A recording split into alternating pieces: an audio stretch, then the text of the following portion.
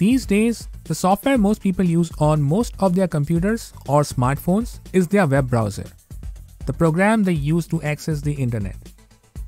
Technically speaking, your browser may know more about you than most of your friends. Did you ever wonder if that's a good thing?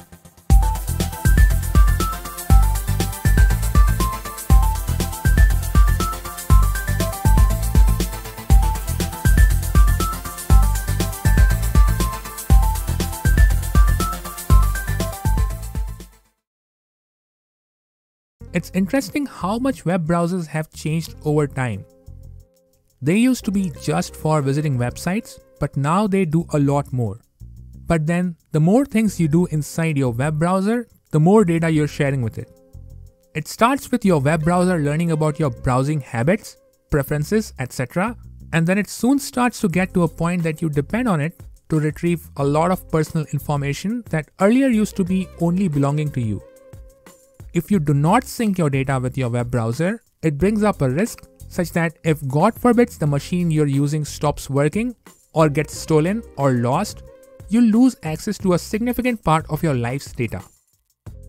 And if you do sync your data with your web browser, which for a lot of people is their Google account, Chrome being the most popular these days, that brings up another privacy concern that you're giving away more information about you to a company like Google than you're supposed to, or otherwise be willing to, had it been in any other form instead of being fetched silently through a software tool.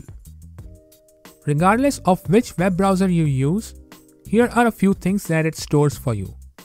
Bookmarks are the first thing that come to mind when talking about data persisting in your web browser different people care about different corners of the internet, but given how fast life is moving for most of us, we do not remember URLs to online resources anymore and just bookmark important things we see on the web and would like to revisit later. Passwords are another of those things that somehow get stored in your web browser. You do not even need to store it. Your web browser asks you if you'd like to keep it safe. Your web browsing history constitutes most of the data that the browser silently stores with it. It does prove useful when you're looking for a web page you visited before and did not bookmark it, but this data isn't any less private than the bookmarks and passwords. Being as helpful as these software are, they store physical addresses from shopping sites, etc. And then when they're storing your addresses, why not store credit cards and other payment related information too? Browser extensions also do get synced, but I'd probably not worry about them much as they're a part of your computing setup and they usually do not have as much private information about you as the other elements we talked about. The web browsers help you store your preferences so that they behave almost the same when you sign into your accounts from another computer. No complaint there. One last major thing that these web browsers remember is your open tabs. Many times they also come in handy to continue your web browsing session from a different computer. Okay, so you share everything about your online activity with your web browser, but how could that be a problem to you? The first obvious one is the one we've already talked about, which is sharing your personal data with a company, often one that has their major source of revenue from ads and selling their users' personal information. Maybe you do not care about it as much and believe that you do not have anything to hide. In this case, I'd recommend this video to you. I'm most certain it'll change your mind. The other trouble could arise when switching between web browsers. Now, I know you love Chrome, the way we all used to love Internet Explorer, but not all web browsers are available everywhere. A simple example is of a case where your employer doesn't allow you to install your favorite browser on your work machine. How would you access your browser data then? If you've been following me and especially have watched my last video about my switch back from Brave to Firefox, you know how I've distributed my data across various sources. As a quick recap, I started by removing my passwords from my web browser and then storing them in my password manager. In my case, the passwords reside in a local encrypted file that I sync across my computers and mobile device and is accessible through KeePassXC, which is an open source software that I can trust with my data. I do not store payment information or addresses in my web browsers anymore.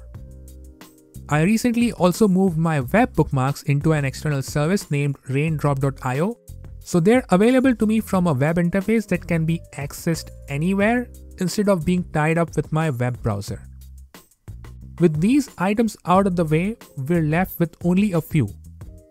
The first one is I need my browser to save my preferences, and that includes my browser extensions. I also like being able to continue my browsing session from a different computer so my open tabs are synced as well.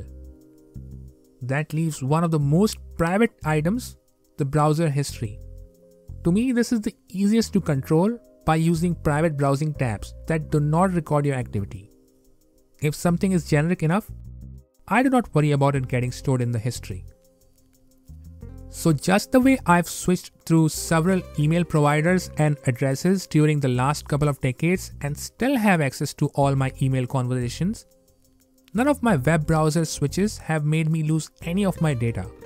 On the contrary, it's only getting better with every switch as I realize better ways to control, store, and manage data that belongs to me.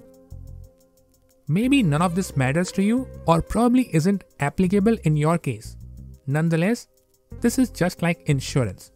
Having it and not needing it is better than needing it and not having it.